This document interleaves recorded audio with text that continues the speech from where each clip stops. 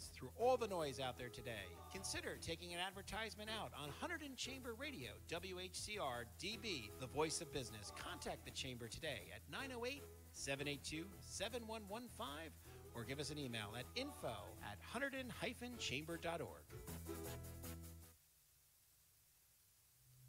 Uh, hi, welcome back. Uh, this is uh, Jim Minadeo, um, host of the Hack Hunterdon Radio Show. I'm the president of Zero Surge, manufacturer quality power quality filters that are used for surge protecting sensitive electronics.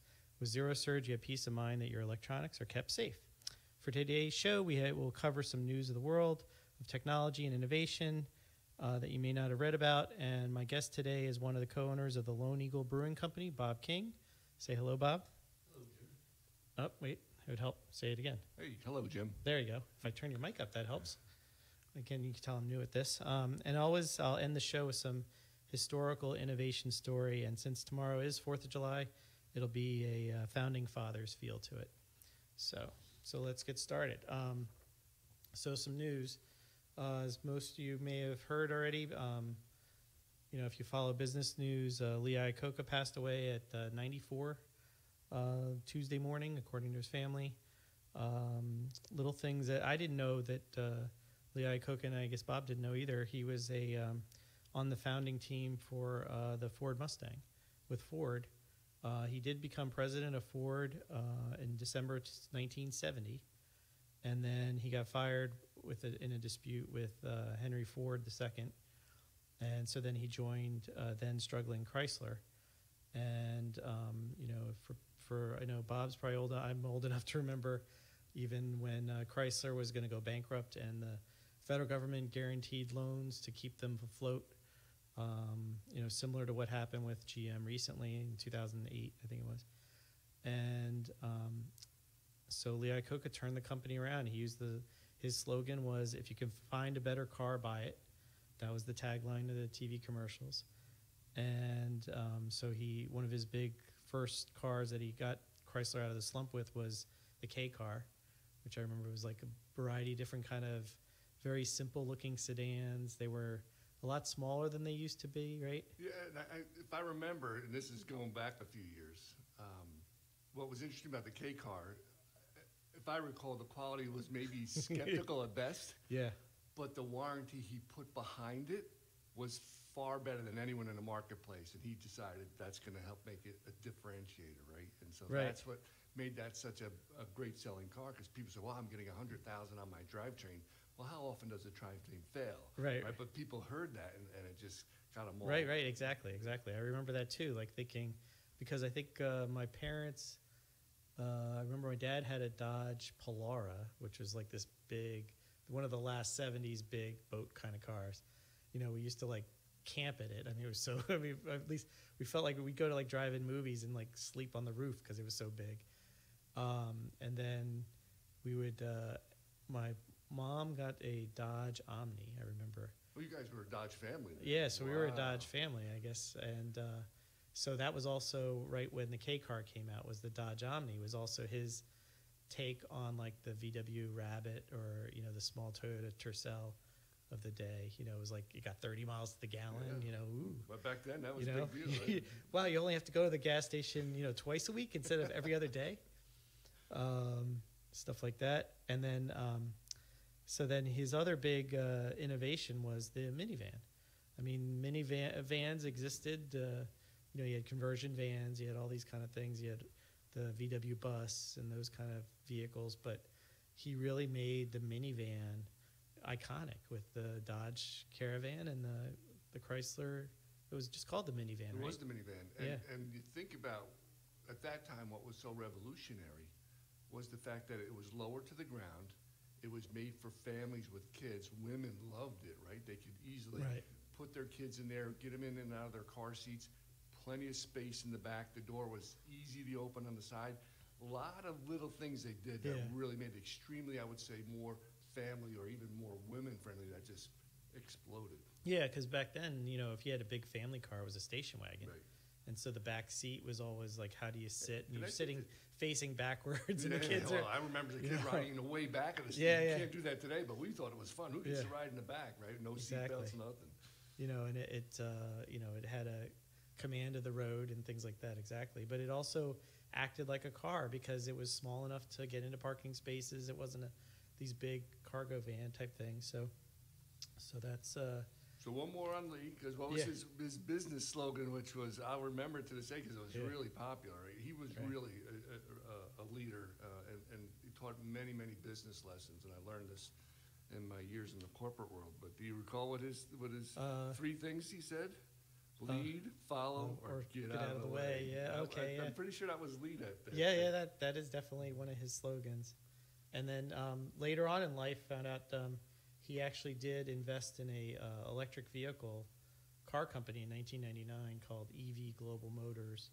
Um, but then he ended up, I guess, as he got older, doing more charitable work. So he did some stuff with, um, uh, what was it? The- Oh, Ellis Island, because remember he did the Statue of Liberty. He was on that committee to renovate the Oh, Statue I of Liberty. of that. No. Yeah, I remember that because I, I, I remember when they had the big anniversary. Um, and then he also helped to do the, all that whole restoration with Ellis Island and how they have it a big park now. And Yeah. so yeah. that was um, also something that he did. So he led a pretty long life and a pretty eventful one. So good for him. very successful. Okay, so moving on to the next story. Um, just a quick one out of Anchorage, Alaska, actually. Um, it's kind of near to me because I used to work for a company that sold uh, drones, and so uh, that's one of the topics. You know, I I'm, know a lot about. I know about how they're made, how, the evolution of them, and um, you know, one of the big issues is how do we legislate them? Because you can go to the store buy them, but they can do just as many things as you know important things like fire rescue, um, delivering medication during disasters, things like that. And people are worried about their privacy. This thing can fly over your house. You know, it's it can just hover over your house, take video. You know, what are the laws? And so the problem is, up until you know we had drones, everything that was air related was federally regulated. So it didn't matter if you were in New Jersey, Maryland, you know, California. The FAA was in charge of the airspace. Um, with the drones, they've kind of relinquished some of their control, and some of the states then started creating laws.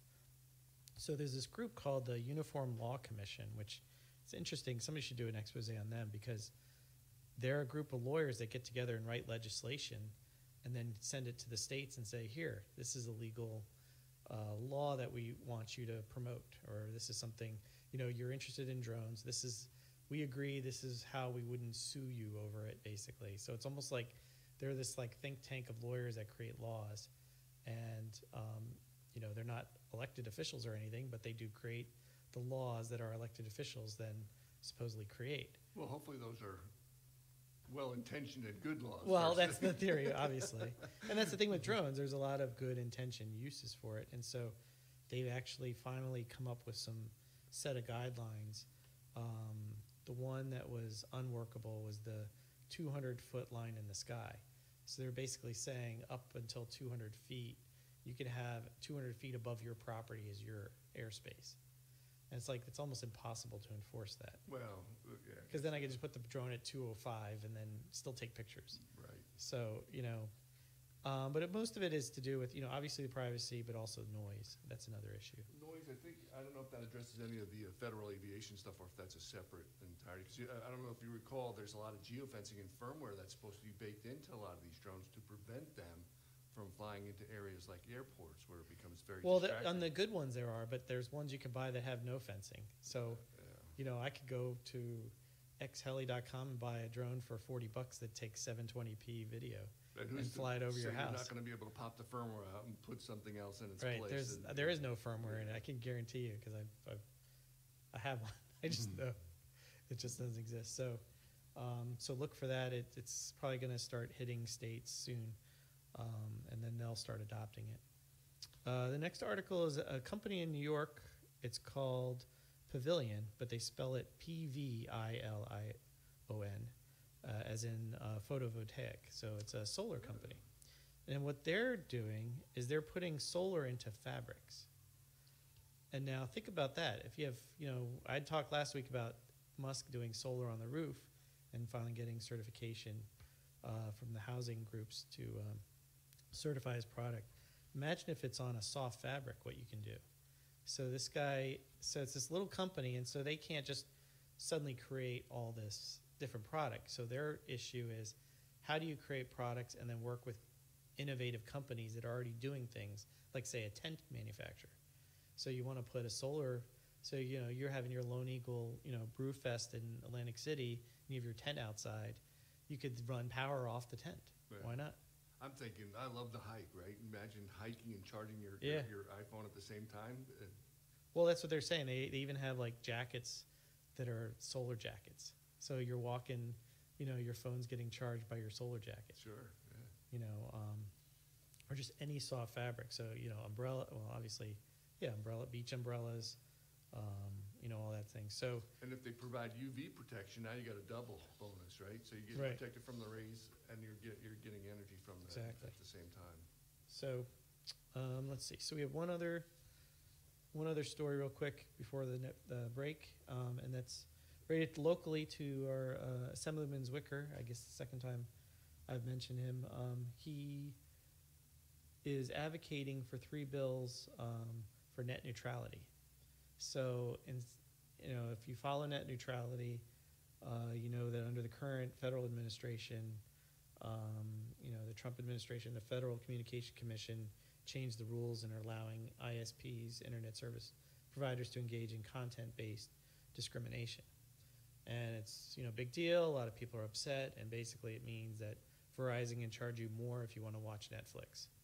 You know, since Netflix is thirty percent of the internet traffic. So Or, or throttle your bandwidth. Or throttle or slow it down if, right, if it's exactly. if it's causing too much headache on their Or network. if it's, yeah, and they'll say, well, if you want to watch our stations, watch on our preferred network, and, and so there, yeah, it- Exactly. it- that whole thing, I'm not sure how it got passed, there was a lot of people against it, and it just Right. seemed Well, like, it's up to three commissioners to vote on it, is what it ends up being, and so. sounded like the lobbyist one on that one. Yeah, so, so Zwicker is trying to do an interesting approach. Is he's trying to create a state law that would negate net, neut- you know, to Cal- create I- net I think neutrality. California, right after that came out, I think they were one of the first states that says, yeah, this- Right. this doesn't apply to California, right? Right. that- So the thing is, I don't know how you're going to apply this because these are federal, you know, national companies.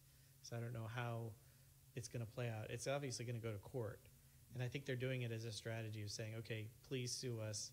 Let's go to the Supreme Court. Then they'll overrule, make it net neutrality, and then Well, yeah, this becomes interesting. Where, where, when does the federal government extend its, its reach too far, right? We say that Right. even here locally, right? When has the Right. state extended its reach too Right, far? exactly. And so if they were able to back off, can they impose it at the state level and say, no, our state says you're not allowed to do that? So I would think any of the ISPs in a particular state, they would have to lift those restrictions if it got approved at the state level. yeah. Um, that, that's interesting. Okay, so uh, let's take a quick commercial break, and then we'll be right back with uh, Bob King, and we'll talk more about his uh, brewery and everything that he's been working on.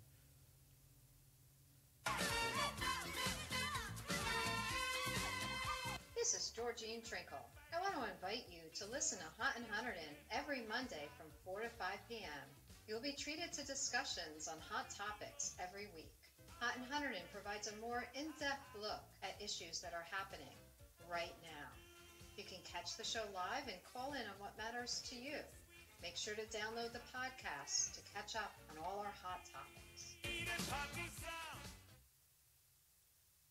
You're listening to WHCR DB, HunterdonChamberRadio.com. Brought to you by the Hunterdon County Chamber of Commerce, the voice of business.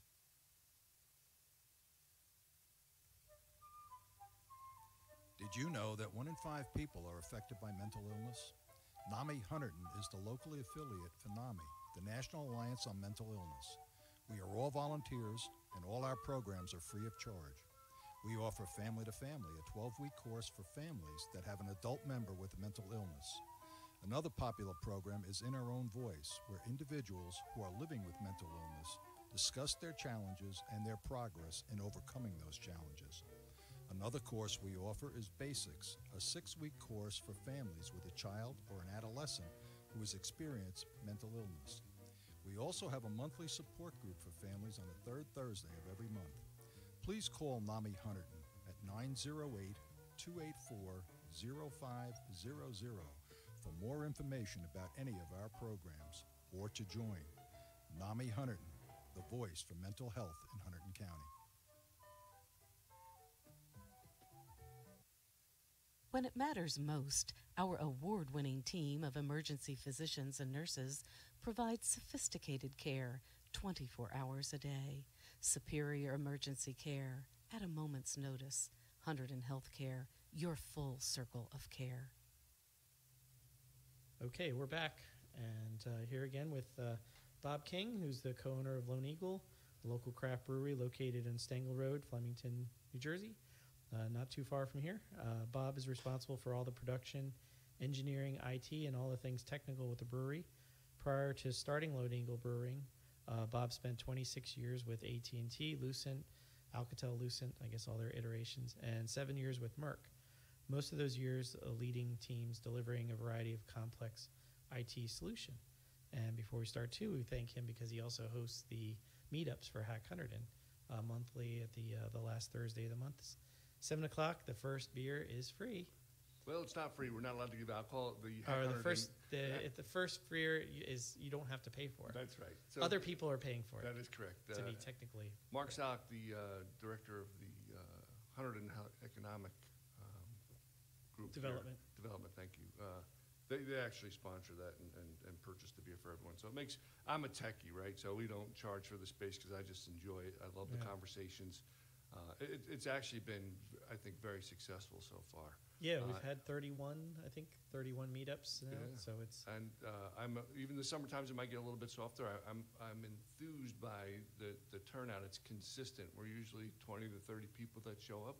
The Yeah. topics have varied significantly, um, and we encourage anyone that has a topic and that Yeah. wants to talk, just Yeah, uh, just uh, contact me, contact Mark Saluk. Uh, we're kind of coordinating the, the events. Uh, next month, we're going to do an interesting event with you, right? We're going to do the beer. yeah. Yeah, so you already forgot about it.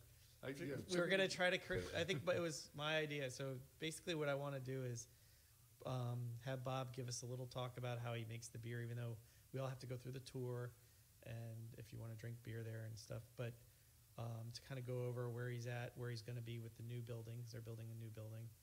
Kind of give us an update on that, and then bring out some flavors and you know the hops and the barleys and the other things you add to your beers, and we'll come up together. We'll create like a, a poll, and we'll all create a Hack Hunterdon brew, and then uh, Bob will brew it and batch it up, and then we'll try and get the next month. The next month, will it'll be available for, uh, for everyone to taste. Uh, So yeah, we'll, we'll break out some raw ingredients, some of the malts where people can actually see them, smell them, taste them, see what those different flavors impart in the beer. And uh, we'll come up with some of the ingredients, and I'll work with our head brewer who's, who's really good at this stuff. Um, In fact, there's, there's two small batches that I just did recently. Yeah. I brewed one with the mayor of Flemington.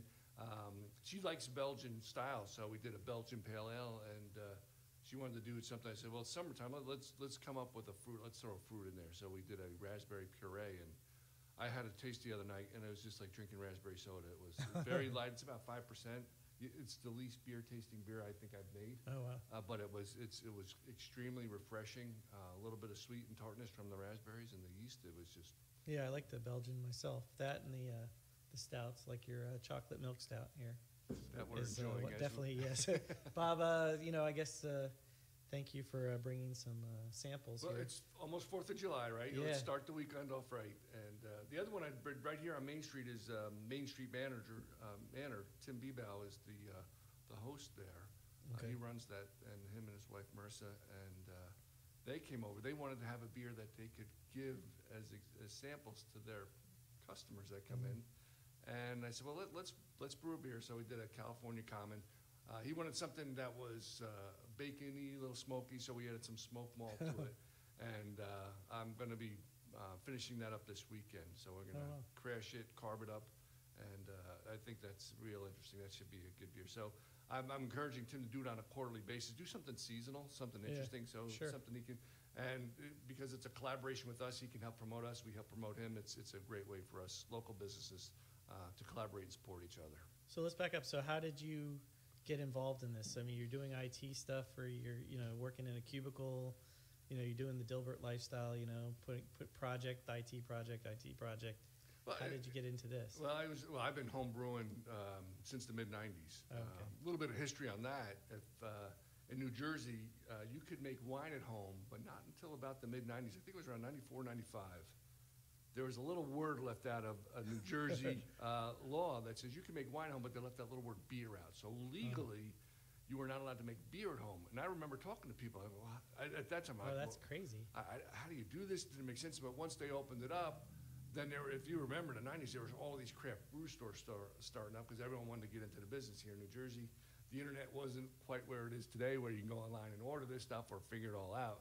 Um, I read a few books, ended up uh, going to different stores, getting kits, and started uh, brewing. Charles Papazian wrote a book, uh, Home Brewing, and he's considered the godfather of home brewing. So he, uh, the very first brew I did, it's called Rocky Raccoon's Honey Lager. It's like one of the best beers I made.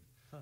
And I always tell people your first beer is always your best. Same with the mayor. Right? Should be brutal with that. So your, your first beer is always your best, right? And uh, Yeah, yeah. uh, so I've been doing it on and off for the last since since the mid '90s. Um, Merck uh, decided to, to send my job overseas, uh, so I was kind of in between gigs. And uh, my partner Todd uh, Becker, who approached me, and at that time he just said, "Hey, I'm going to open up a brewery here in Flemington."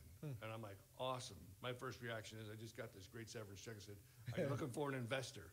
He's Yeah. like, "No, no, no, I'm good." I said, "Well, you're looking for help. I'm not doing anything right now. I'll give you a hand." He goes, "No, no, no, I'm good." I said, "Okay." Two weeks later, he's knocking on my door. He goes, "Yeah, I need help." Yeah. And so that's when we, we uh, created a partnership, um, did all of our, our, our legalese, get everything signed up, and uh, that's how it started. So uh, I was responsible for all the uh, equipment and um, uh, identifying what vendors. We, we actually engaged with a consultant that said, look, these are the things you need. And a lot of the equipment is actually made in China. And, and you can go direct and buy that stuff. Uh, but my view on that, this is the first time I had ever done anything of this nature. Uh, I'm familiar with homebrew, and going from Right. homebrew to commercial brewing is Totally different world. very, very different. So much more processes, so much more equipment. Um, so uh, I, I decided I'm not going to go overseas. I'm going to deal with somebody in the U.S. and they may source it from overseas. But if I have a problem, I call it one throat to choke. I'm going one place. They can't. If I can get vendor uh, fermenters from one vendor, a brew house from a third. I- Now I know how to deal with it. At that time, I said, Yeah. no, I didn't want finger points. So no, that's their problem. That's no, no, no, that's not a problem. Sure. So I went to one vendor, and, and, and that's how. Uh, so we selected a vendor. Um, it took a while to get all that stuff ordered. Um, Todd did all the, the paperwork and getting it through. Um, All and- the and so- legalese for alcohol sales and all that stuff. yeah, so you got to file with the feds, and you got to get the Fed approval first, and they want to look at where the money's coming from because they don't want any illegal, you know, get it from your your, uh, your your your friends who may have had the illicit connections or Yeah. whatever. So everything we had to, we had to demonstrate where the money was coming from. And since it's two of us, it's easy. It was just uh, Todd and his wife, and, and myself and my wife. We're all partners in this, and uh, so we got through that relatively without pain. Uh, then once you get that, then you go through the state, and then you get approval from the state, and the state loves to say no to everything. So I remember the state coming through and asking, we, we, we're, we're asking a ton of questions, and every question we ask, we get the response, yeah, no. Um, no, that's a, that's an interesting question. We're not sure about that, so it's no. Yeah, yeah. it's like when you request for permission, you're really seeking a denial. So we learned, after about 15 minutes, I looked at Todd, I gave him the wink, and said, no more questions. so we decided we didn't want to hear what we, you know, what the answer was already going to be. So um, one of the interesting challenges we had starting up, though, what do we want to name this thing? And so using my IT background, I set up a website called namethebrewery.com. Oh, okay. And we wanted to get the community engaged. We thought we'd get a handful of names, and some Yeah. of our silly friends uh, obviously listed some some names. Um, but we got close to 500 names. And not only did we want a name, but the people had to write a name, but they had to have a story because there's got to be something behind the name. There's, Right, that's, right. that's the romance, right? That's that's that's right, you a have to have a story to tell. Exactly. Because everybody makes beer. And well, you know what they do, in the, and I go every place I go said, why? Some names are obvious, right, and others are not. And you want to say, well, Right. what's behind the name? Why did you name it this? So people come to us, and so the actually the very first name we picked, and, and so we we took the 400, we went through them, and we narrowed it down to 10, and then I updated the website, and we had people vote on it. Mm-hmm. And the number one, uh, the winner was Conspiracy Brewing, and we were going to name that. So if you've ever been to the brewery, we got the downstairs and the loft. The downstairs, we were going to call it the Lunarscape, you know, because all Okay. those theories about actually yeah, landing yeah. on the moon. Upstairs would have been the book repository. You know, okay. So or the we had- grassy knoll. exactly. So we had Yeah. all these all these uh, uh, things. We were going to make beers after all Yeah. these things, and so we went to get the, the name trademarked, and we Oh. just missed it by about 45 days from a group Oh, up somebody in else. um, up in Massachusetts. Somebody had already actually registered the domain name, and I was trying to buy it from him. And he's out in Colorado, and he works out of his house. And he's Oh. like, I call him up, and I'm like, look, we- want this. Can we can we pay for it? He goes, no, no, I've already uh, got my labels done, and I've patented my labels. And I'm like, yeah, yeah, you copyright labels, you don't patent them. so he, I, and he had no idea that somebody up in Massachusetts has locked in the uh, trademark. I said, this guy has no idea what's coming at him. So once you have the trademark, it's Yeah. yours. And, and so uh, the second name, which was which is a great name and we love it, it's Lone Eagle Brewing. And the, the connection with, with Flemington, and we didn't want to call it Hunterdon Brewing, well, that's already taken by a distributor, or Flemington Brewing, because we wanted to have something that could, could spread. If, it, if Right. it, it's become successful, we wanted it to be known uh, just beyond Flemington. Um, so Lone Eagle is the name we, we selected. And many people know Lone e- or, or Charles Lindbergh for the trial that took place here Sure. last century, and that was kind of what a lot of the history in Flemington's based on and, and is well known for. Uh, so uh, Charles Lindbergh's call name or, or code name as a pilot was called the Lone Eagle. Okay. And so yep. that, is- that is the connection, and so uh, we like it. And of course, our, our, our logo is a picture of an actual eagle to show that. And, and so our tagline is bold, brave, and adventurous. Those are the things that I think Charles Lindbergh really embraced clearly when he crossed the Atlantic as the Yeah. first uh, single solo flight, and uh, we try to embrace that. And, and Were you the? Are you the oldest brewery that? Who? Are there any other brewers in Hunterdon that are older than you? yeah, there's uh, actually Who are the? Uh, in Hunterdon, beer? Ca- uh, so Conclave uh, over in Mini they were they were ahead Okay, of us for about a year, so they're a craft brewery, and I think they're moving in that same area. But the oldest, in fact, the very first uh, legal, um, or I I should say, I guess legal, or, or to establish a brewery in New Jersey was to Ship Inn. The Ship Oh. Inn up in Milford, uh, right on the Delaware River. There was a big race. So right, remember I was talking about Yeah. 1995 when or four when, when Yeah, they yeah. passed the law.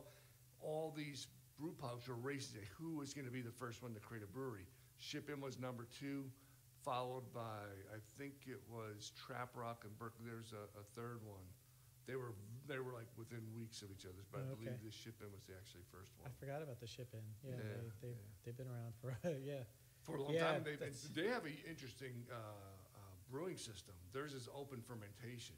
So what that means is, um, and it's, it's I think because uh, the original owner was from England, he got one of those traditional, more English. So it's like a, style. just an open vat of. It it is when you just ferment. lets- So you have to have a yeast we call high flocculation. It's got to create enough foam.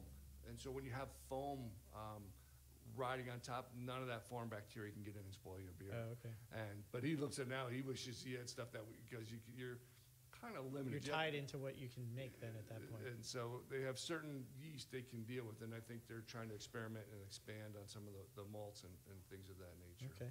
Uh, well, we're up at a break here, so let's uh, take a quick break, and then we come back, we'll talk about some of the technical things that you've had to do in the brewery, some of the uh, hardware, software stuff that you um, talked about with me earlier. So let's do a quick break here.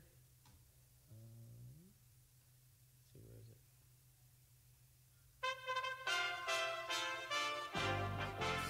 it? USA Radio News with Tim Berg. White House economic advisor Larry Kudlow says the Trump administration is optimistic about trade talks with China, but they've still got a lot to work out. We are hoping that China will toe its end of it by um, purchasing a good many of American uh, imports, uh, agriculture, agriculture services, maybe industrial, maybe energy. Uh, it's not done yet, but we're hopeful. Kudlow was speaking to reporters outside the White House. Now, the president has backed off a threat to impose another round of tariffs on Chinese imports as the two sides continue to work out a trade deal. Edward Gallagher, the Navy SEAL found not guilty of war crimes, but found guilty of taking a photo of himself with a dead ISIS fighter, was sentenced by a military panel to a reduction in grade, four months confinement that was already served, and four months partial pay. And you're listening to USA Radio News.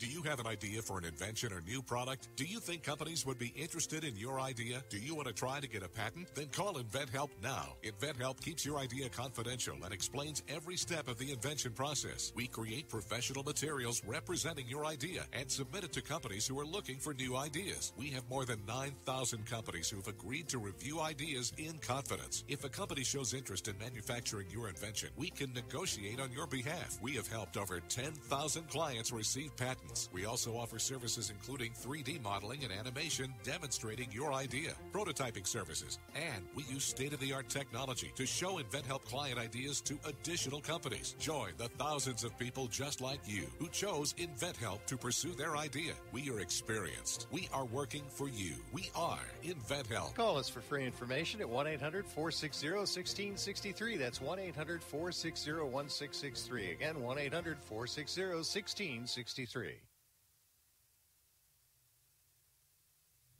All right, we're back. Uh, quick uh, weather update. Um, see, I'll refresh the screen, see if the weather has changed. And oh, it's one degree warmer, so it's 86. Again, thunderstorms coming in probably tonight. Uh, at least one or two thunderstorms in the area. High near 88 tonight. Patchy fog after 2 a.m. So watch out if you're out late. And uh, tomorrow it's going to be isolated showers, thunderstorms after 1. So uh, if you have the parades in the morning, I know we have ours in Lebanon Borough uh, starting at 9. And I guess the fire trucks wake us up at 8 in the morning. They go around town waking everybody up and getting ready for the parade. And then they still don't come around till like 10. So you have a couple hours to get your chairs ready out on the hill. Um, but then uh, there's still a chance that uh, we'll have some firework issues, but it looks like we'll probably survive because it's only 20% chance. So, um, and that's it. So let's get back to with Bob. Uh, we're going to talk about um, what kind of technology he uses at the brewery. So let me pull up his microphone. That would help. Go ahead, Bob. So what what is so you talked about uh, one of them was the keg tracker. So why don't you tell me about that? So when we started off, we were self-distributing, and so we were out there as as most startup craft breweries of our size tend to do. Because uh, distributors are a little reluctant to sign on to because they don't know. Well, you don't have a brand name, you don't have a presence in the marketplace. How well is your beer going to be received? Uh, so they say start off self-distribute, build a brand, and then come have a conversation. Of course, they like that because you've now established a market for them. Right. well, they don't want to waste their time. You know. well, yeah. So uh, we our so our first year uh, we were self-distributing, and what you have to realize is kegs are assets, and they're expensive assets, and you want to make sure you keep track of who has them. Mhm. And so uh, it started off as, as we would go out to our customers and we would drop off a keg. So I wrote a, a mobile app because we always carry a mobile phone Mhm. uh, with us. And I decided let's write a mobile app. Every time we drop it off, we'll track what we dropped off. And when we pick it up, we track what we picked up. Right. And that worked relatively well to start with. And then we realized, well, what if we were to extend that, take it further upstream so that, you know, we could place an order and let the brewer know we've placed an order with the customer and then they could fill the keg. Then we would be notified when the keg was filled and when we know it was ready to be delivered Mhm. and, and then continue tracking the keg. Uh, so I took that uh, all the way up to a fulfillment. So all the finished beer that we make goes into the app, and then we know what's available for sale. I remember going to one customer and I brought some growlers and they tasted the wares and they're like, okay, what do we need to do business? And I said, all I need is your ABC number. It's your alcoholic beverage control. And they said, oh, so he goes to the wall, he puts those down, goes, here's my number. I break out my phone, I put in their name, I put in their phone number, Right. the customer name, phone number, put in their ABC number. And He's like, and I just went in and, and hit the beer and I said, how much you want? And he's like, what'd you just do? I said, well, I just created you as a customer and I just ordered your beer for you.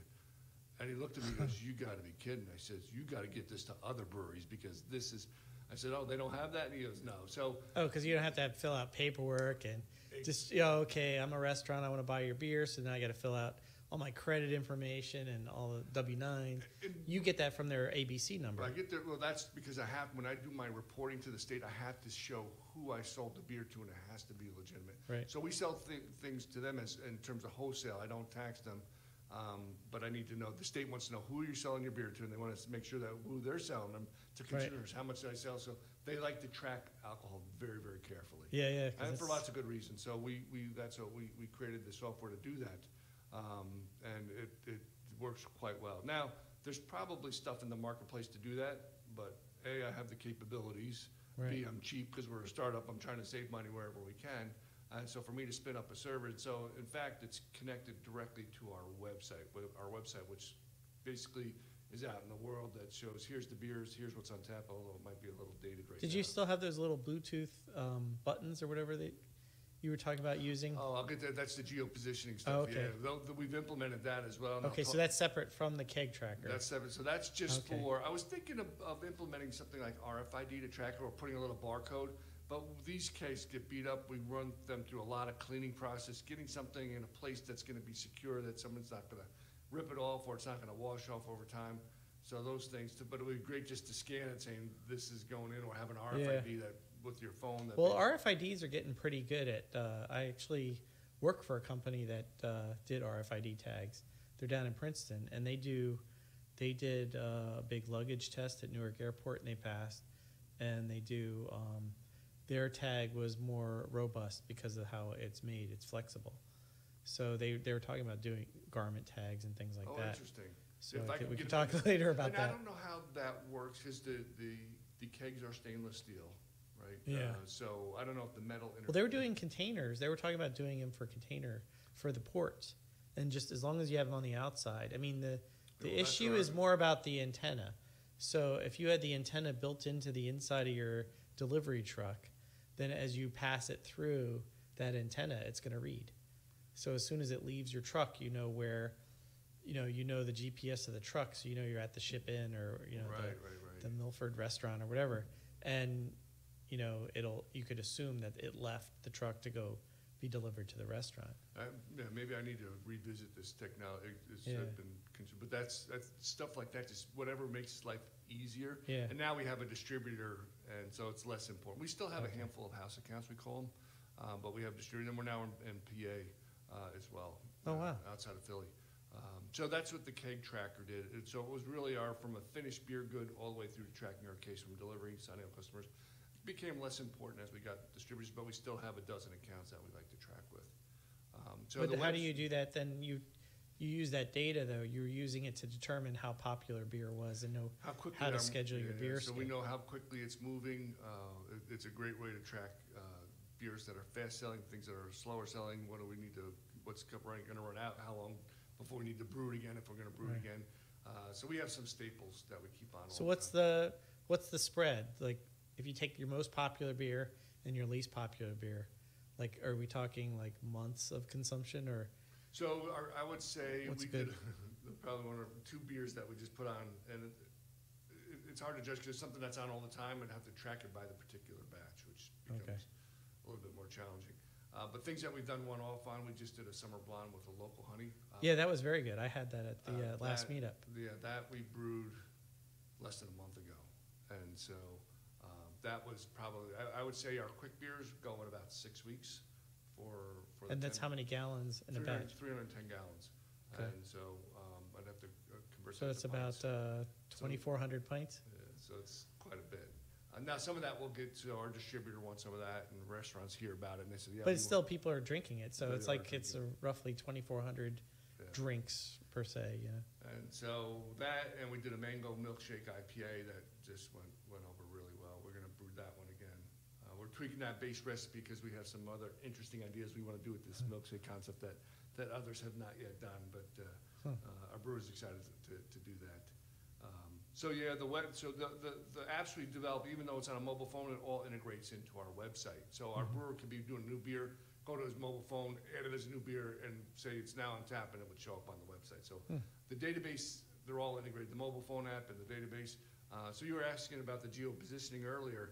So if you remember on one of my presentations for the Hack Hunter, which we didn't complete, uh, was uh, the, actually the first Hack Hunter, which is I called it My Town, which would allow um, consumers as they walk by storefronts that say, "Hey, you're near me. Let me give you a coupon or some incentive." Yeah. Uh, and so I've actually implemented that at the brewery. So uh, when you download the app, and downloading apps, everyone knows painful now. I got enough apps on my phone. Why do I need another? one? Exactly. And what incentive am I going to get by downloading your app? So what we do is we, we if you download the app, and I have to put the new release out yet, you would get a coupon that would give you 50% off a pint or a flight. Now that was only initially Apple, right?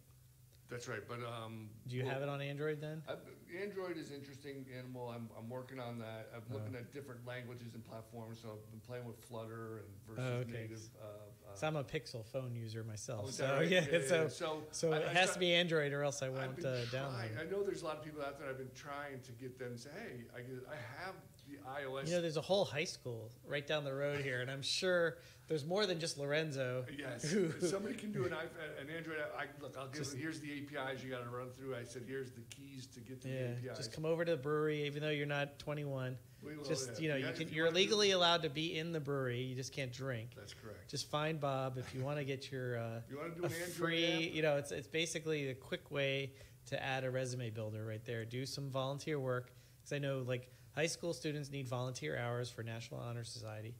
This would be a perfect opportunity if anybody out there is from Fleming, you know, from one of the high schools that wants to do programming. And if it works, and uh, I'll look, I'll give you the APIs. I'll give you the rundown of it, and uh, we might be able to throw in some money to help you go to college or something like that. Give you Yeah. a little setup. So Yeah, no, it's definitely. I think I, I'm all I'm big on that, especially because we saw it from our own uh, child's, you know, side of it because he's into filmmaking, and so he uh, volunteered to do the Habitat for Humanity to film them building houses. Oh, wow, cool. So and it was way for him to get service hours to get into the honor society, and that was, um, you know, because it's hard when you if you have somebody who doesn't, you know, he's he you can kind of lead him to do some charitable stuff, but it's something that he's passionate about. So it was like perfect mix for him. And so he filmed them building the houses. He interviewed families. He interviewed some of their uh, charity stuff. They do like a fun run, and then he pared everything down to like five minute videos for them so they could use to sell the the service. And so use that as I, I was Oh, telling people, you know. That- I hadn't even especially in your. Yeah, line of yeah. work. I mean, even though you can't have them come as customers, they could definitely. Look, the basic app is simple, right? But when we get Yeah. into, we have a few beacons in there. When you start doing some of the geopositioning, that starts getting the other challenging piece that we do. Uh, one of the fun things we'd love to do at the brewery is get our customers engaged. Right. And so uh, there's a feature in there, and that was this past year's, Yeah. not this, pre- but the previous year, Hack on It, where we were doing real-time polling. So we call it tap it or dump it, where customers can come in and we put on a small batch Yeah, let's beer. say it again because that's a good name. Tap, Tap it, or dump it. And by the way, I have that trademarked. there you go. I went out and said, that, I, when I talked to some people, they said, this is a great idea. I said, I better go Yeah. trademark the idea. So I do. I have that trademarked. Wow, great. Um, so we want to have our consumers come in, use their phone, and and vote. And if you say, yeah, we love it, tap it. The next dialogue that comes up or the next prompt that says, well, why don't you give us a name? And then we would vote on the name. So then Yeah. it becomes really customer engaging. It's just kind of fun things to do. And, and I think that's what makes us a little different than a lot of other breweries, because one, I, I, I'm, I'm a techie, right? I Right, love right. this stuff. I've been involved with, I've been doing it for years and years. Graduated as an engineer, Yeah. got a master's in computer science, so I just, I just, it's hard But it's more than just software. Like you have um, in your cold room, you you, have, you use Raspberry Pi. So now you're talking hardware, not just software. Yeah, a number of years ago, somebody turned me on to this, and it was like a Linux, and I, I'm a big Unix guy, AT and T. You Yeah. know, Linux. so when they come up with Linux and they put it on, a, on the size of a credit card, and then they give you some I/O, I said, "Wow, the world is now open. You can do all kinds of fun things." Yeah. And so one of the things we built early on, uh, I custom built our cold room, and so I wanted to make sure it was going to be stable. Right. And so I had it polling every 30 seconds or a minute, what's the temperature of your cold room? And if, if something went wrong, Right. I would get an alarm. I'd get a text message on my phone saying, "Hey, your cold room's unusually warm. You might want to check it out."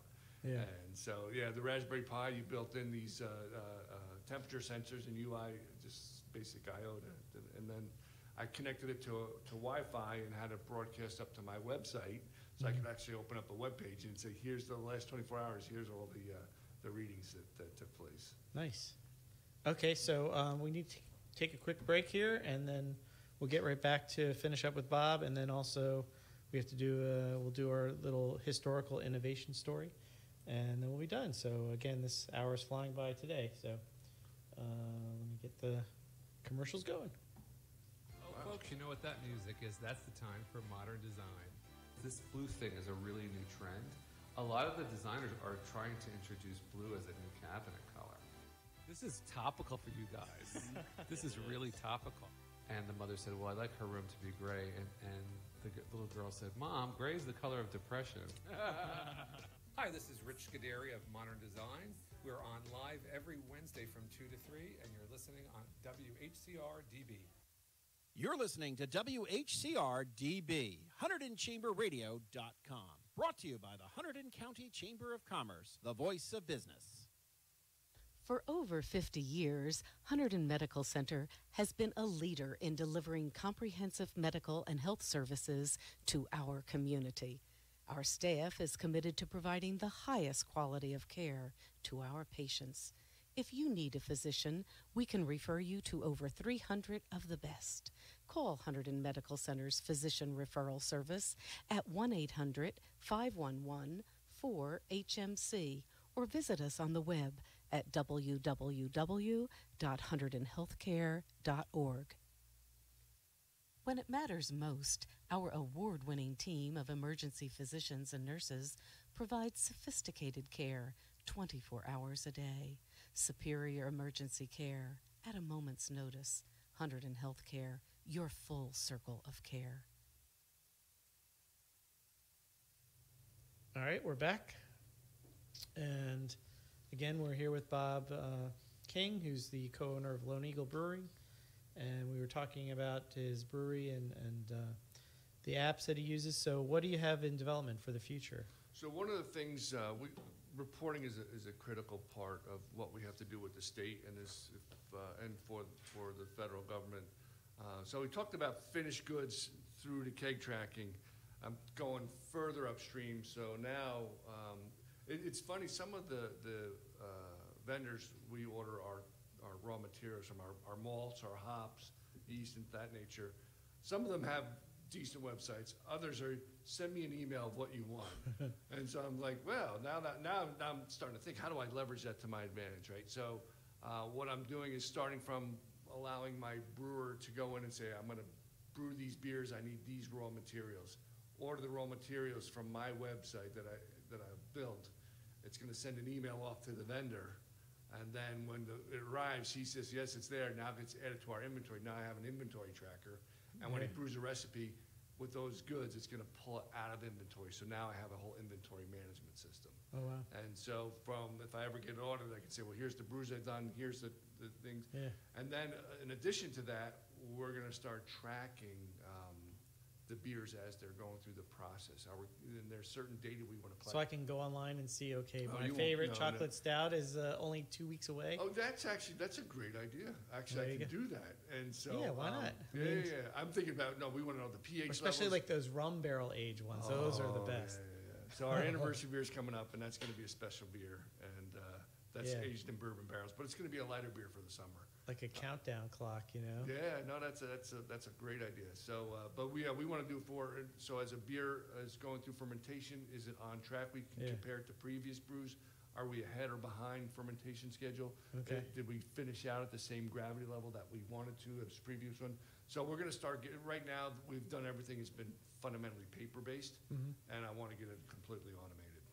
Okay. And then um, you also are expanding physically as a building, right? We are. We. Uh, it's a good problem to have, right? So one of the things uh, we're out of space. If you've been to the brewery and you look inside in the evenings, you see the our, our, our brewing area is filled with raw materials, cans, things of that nature. We just we're not able to keep up. We, we're we're we're, we're Yeah, it's a great back. problem to have. It's a great problem to have, and so um, I'd rather have this problem than the other problem. So the building right next door to us, we're expanding our manufacturing. Fundamentally, to just be for beer to get out the door. Primarily, not our, we're keeping our tasting room. We love the tasting room. We, we invested quite a bit of money into that.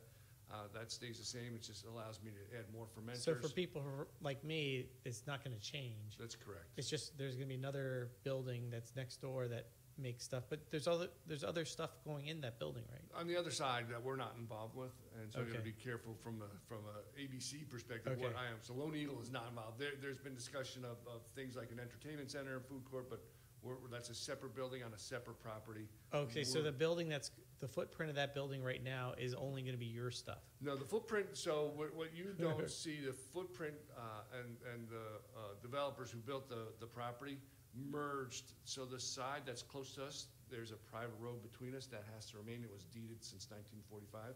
Okay. Uh, on the other side of that, um, is the building, will a third of that will, is part of our same block and lot. Okay. And so it is gonna be part of us, there'll be a firewall between the buildings, so there's no sen- entrance and exit. Okay. You have to actually go outside and, and go Okay. next door to the food court, or whatever that's gonna be. Okay. Uh, we're not involved with that. Uh, so that, that, so two-thirds of that building, and when you sit down at, at, at ground level, it doesn't look that big, uh, but when you take an aerial view, it's going to be a big building. So we're going to have about uh, 5,000 square feet just to add to manufacturing. Oh wow, that's a lot. So yeah. we're going to be adding uh, uh, fermenters, uh, larger fermenters. Uh, We're going to brew at our place and just pump the wort over. It's not beer, it's wort. So they, Okay. they, they, they state can't get, they were, they got all upset on, well, you can't pump beer across the street. I said, well, it's a private street. And of course, getting back to my statement earlier, everything's no. That's crazy. Like Everything literally, like they're they're worried that you're going from one building to another, like it's a speakeasy or something. And they said, well, whatever you produce over there, you can't sell out of your place. I said, I, I, I have, I said, that's just for outdoor consumption. It's, we want to make it there, package it, and get it out the door. That's, that's the whole, we just can't, and, and everything that's made in our place will be continued to be consumed on premise. So Uh-huh. we'll- we're looking at, uh, um, fermenters, canning line, another cold space, barrel aging, place to store our, our raw goods. So Yeah. it just, uh, um, yeah, you're just expanding your operation. Is what That's you're doing. I exactly mean, right. it should all be one. and- and this is a wonderful. But federally, you could do that because you s- you told me the one time that it's there's like a two mile radius or something that you You don't have to get, even in the state, you don't have to get a separate permit. You still have to file with this, what you do, but you don't have to go file, I'm sorry, s- file for a separate license. Okay. Now, because of what I'm doing, it's a separate location, they're saying you have to do this, and what becomes more confusing to the state is like, well, it's one block and lot, how can you have two licenses for the same piece of price? So these are the things you have to kind of work your way through. So you think if you started over, would you have done? Would you have not gone to that location, or was that location something that was because of the you know middle of Flemington?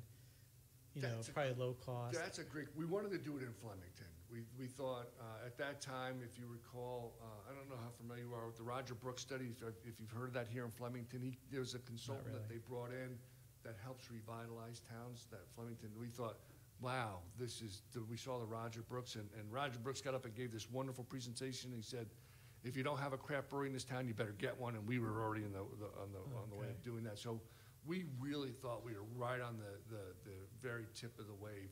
We were gonna catch this Yeah. wave that's gonna help this town help revive. it. So we still believe in Flemington. We still believe it's gonna, uh, turn around. Uh, it just, uh, it's taken a little longer than expected. Yeah.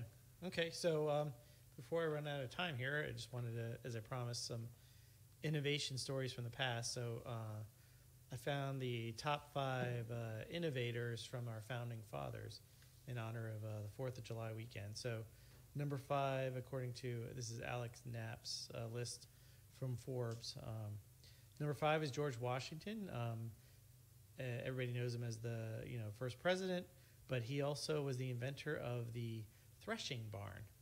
So he created a method for threshing wheat that was safer and easier using a um, a barn that was shaped in like a hexagon shape, and um, it was it was a safer way. Uh, it was a, actually it was not hex. It was a sixteen sided barn where the horses would thresh the grain in a circle on the second second level of the barn.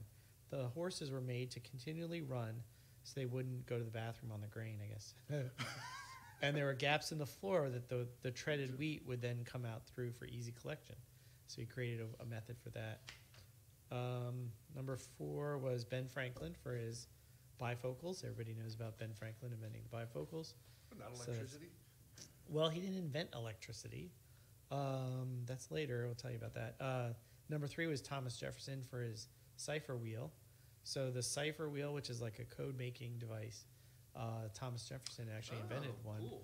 Um, that's actually attributed to a French uh, person, but um, because he never really marketed it per se, so it ended up becoming more of a French invention.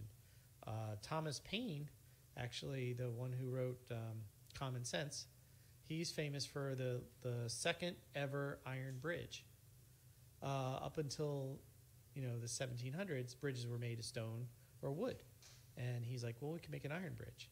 So he actually had the longest iron bridge at one point, and um, Well, that's, uh, they had facilities to actually manufacture iron. Right. It was uh, uh, back in. Uh, it was a 240 foot span. Wow.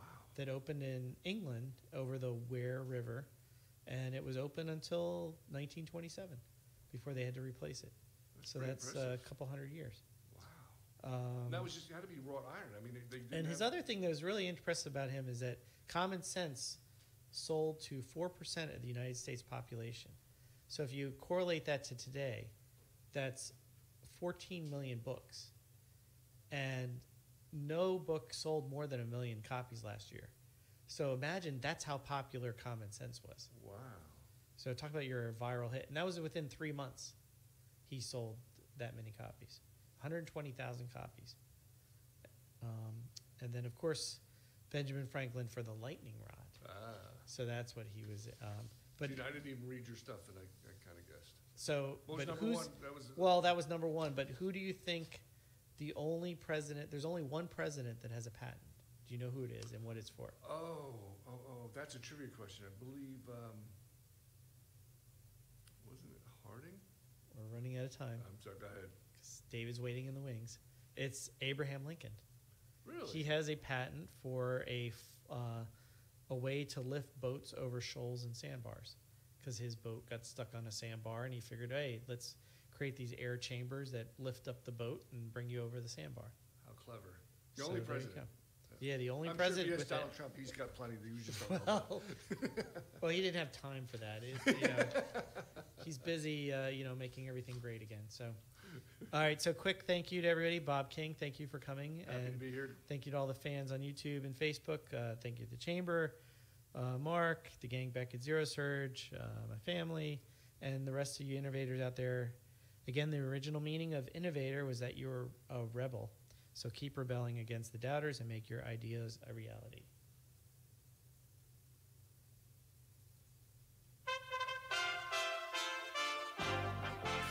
USA Radio News with Tim Berg. As preparations continue for the salute